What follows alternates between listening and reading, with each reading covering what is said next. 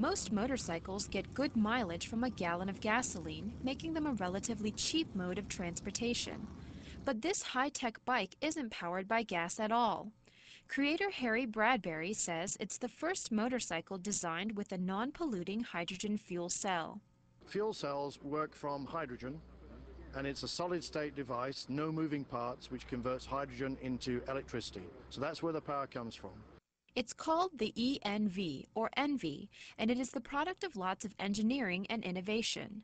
The motorbike reaches speeds of 80 kilometers per hour. The hydrogen fuel cell power unit even detaches and can be used to power a campsite or boat.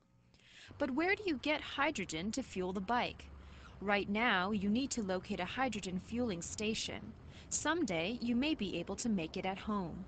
We have devices that are called fuel reformers, magic boxes that produce hydrogen from a multiplicity of different sources. The motorcycle still needs to clear some regulatory hurdles, but bike enthusiasts are excited.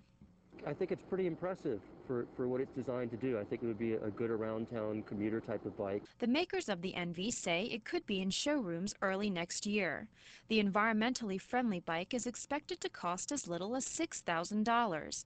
And if gas prices and pollution remain high, the ENVI could make other bike and car owners quite envious. Crystal Park, VOA News.